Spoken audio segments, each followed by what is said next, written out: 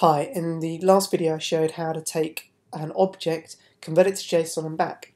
Now, using that technique, I'm going to show you now how you can pass objects via tethered applications using RAD Studio XE6. So just to recap, um, using rest.json, there's a method in there, uh, sorry, a class called tjson, which has got methods for taking an object, converting it to a JSON string, and also taking um, a JSON string uh, and uh, converting it to an object. Now using that we're able to go ahead and start using some of the really cool features around tethering to be able to pass data back and forth. So I've got a small demo here that I just want to show you running first and then we'll get into the code behind it because um, it's, it's pretty quick to show and quite fun. So I have a scoreboard application here um, which has got a, a, couple of players on it and I'm just going to launch up uh, a desktop and also a mobile application written using um, RAD Studio and the FM application framework.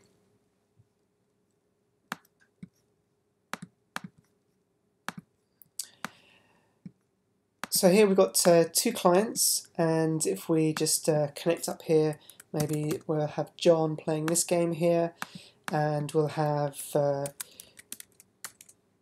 Stephen playing this one here. So you can see as we connect in, um, there's methods that are being fired on the, the server here that go and build the, the score data. Uh, and as this data is updated, we can see that we're getting a, a, a data packet built with individual objects being displayed by JSON representations. So with both connected now and with the data um, being pushed across to show the live scoreboards. Um, let's go ahead and play the guess game. So uh, it's a random value between 1 and 100, so you have to bear with me two seconds whilst I uh, go ahead and try and work out what the, uh, the score, uh, what the value is.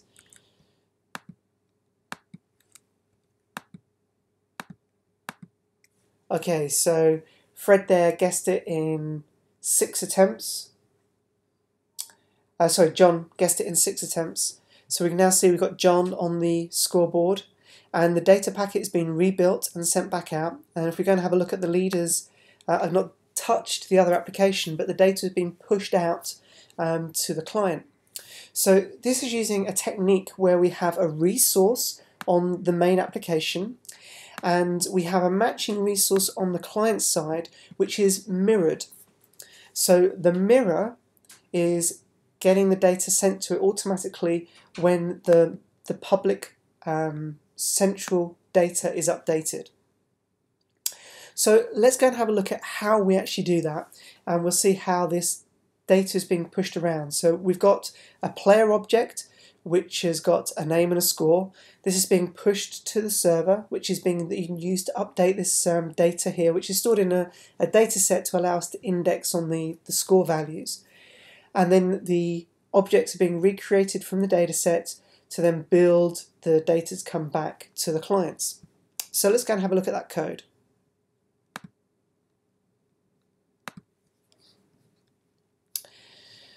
So let's have a look at the player. The player is simply um, a basic object that's got a name and a score, um, which are string and integer values. Um, so nothing particularly complicated going on here. Uh, if we go and have a look at the, um, the data module here, and we have a method that we send the score. So here we're checking that the tethering manager has got a remote profile. Um, if it has got one, then we know we're pretty much connected to something. Um, and then we're using the tethering app profile, uh, a method there to send a string, and we send that to the remote profile that we're connected to. Um, we just put a, a, message in here to say that it's a T-game player um, data set that we're sending. Uh, and this then we use the object to string uh, and we get the current um, object that we're using um, that's selected in the prototype bind source. So we use the internal adapter to get the current one uh, and then we pass that through. So with the data being sent, um, it's got to be received somewhere. So if we go over to the main application here, to the scoreboard and the on receive resource. we're able to check that the resource that we're receiving. If the resource type is of data, um, there's two different types. There is uh, either a data or a stream. So a data will be a string representation. We're then able to say, okay, take the uh, take the value as a string and convert it into our object using the tjson uh, JSON to object notation here.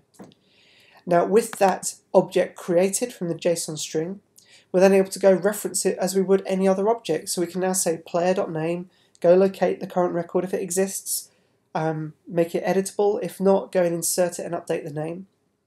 And then uh, update the score to be the latest score. So we could have some logic here for determining if it's a better score or not, but um, here we're just updating the score and then posting it in. So once the um, once the uh, the dataset has been posted to, and we have an after post event here that then goes and just persists the the data using the store to XML, um, uh, sorry, the save to file on the dataset, and then we update the score objects. So the update score objects literally just goes ahead and loops the dataset. Um, we create a so we create a clone of the current data set, um, which allows, you know, if it's multiple threading stuff going on, it allows us to work with a consistent view of the data. So we're able to take a, a cloned cursor of the initial data set, and we're just creating a string list here and then creating instances of the game player um, with the name and the score and converting it to uh, a JSON string, which we're then adding to our, our string list. Now once we have five records in there, we're just sending the top five out um, we're then able to just convert that into a delimited text format and push it straight out to the resource on the um, tethering app profile.